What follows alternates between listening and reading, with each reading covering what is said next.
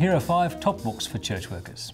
1. The Institutes of the Christian Religion by John Calvin. It's a complete theological education in two volumes, but it's never dry. A big read full of life and passion. 2. A Simple Way to Pray by Martin Luther. The apostles modelled a ministry that was set apart for prayer and the ministry of the word. We often neglect prayer to our loss. Luther gives us a simple model for a renewed prayer life. 3. Brothers, We Are Not Professionals by John Piper. A great challenge to make our work conform to our theology. We're to love and serve God and His people, not build a career. Much needed reality check. 4. Lectures to My Students by C.H. Spurgeon. One of many Spurgeon volumes worth a read.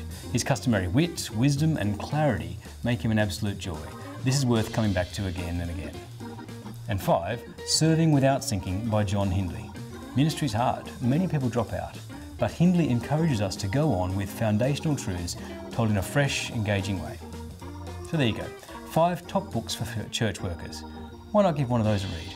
They'll help you to serve the Church of God in His strength and check out our other top five series on www.clayton.tv.